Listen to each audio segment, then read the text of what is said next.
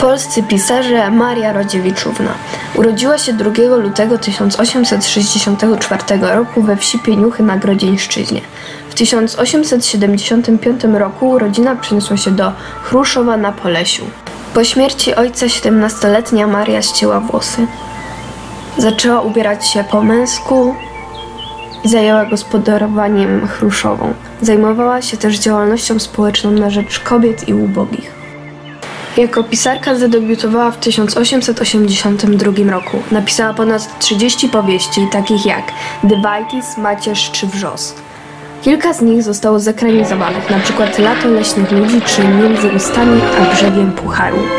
Podczas II wojny mieszkała w Warszawie. Zmarła 6 listopada 1944 roku. Na jej książkach wychowało się pokolenie międzywojennej młodzieży.